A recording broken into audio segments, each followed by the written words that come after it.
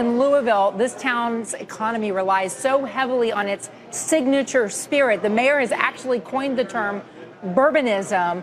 I mean, tourists come from all over the world here to sit on Whiskey Row and sample the goods or visit distillers on the Bourbon Trail. And globally, you have drinkers who are beginning to develop a taste for bourbon as well. In the last five years, in fact, American whiskey has doubled its share of uh, the Chinese market. It's now at 9%. It's really chipping away at the dominance of Scotch whiskey. Many distillers, both large and small, make strategic plans for growth based on global expansion. Kentucky Peerless Distilling is hoping to sell in seven countries in the next couple years, but trying to factor in these stiff new tariffs.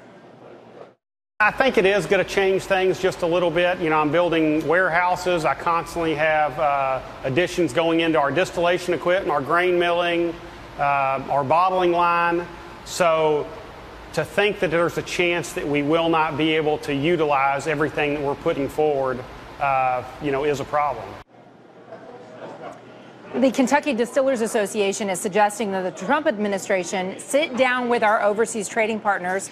They say perhaps over a glass of bourbon and, you know, resolve their differences. Michelle, Wilf?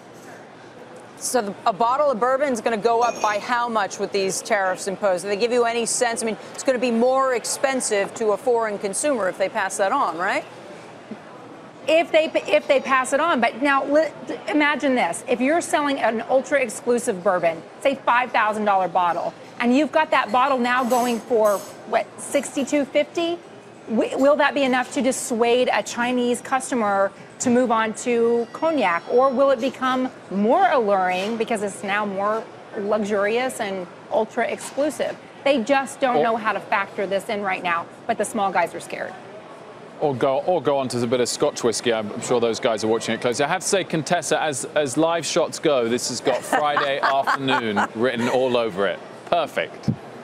Well, it is. It is. I'm sure happy hour now here in Louisville. By the way, you guys, I also picked out Angel's Envy. Uh, Michter's has been really working hard to open up the Chinese market as well. I thought for you, Michelle, being the foreign correspondent, and for you, Will, there's this Russell's Reserve. Jimmy Russell's been the master distiller for 65 years. He knows the ins and outs and everything. I thought you might appreciate that one. I like it very. I, I would take any of them, frankly. But uh, now my favorite correspondent. Okay, Contessa. I can't put them on the plane. They won't let me bring it on the plane. Hey there, thanks for checking out CNBC on YouTube. Be sure to subscribe to stay up to date on all of the day's biggest stories. You can also click on any of the videos around me to watch the latest from CNBC. Thanks for watching.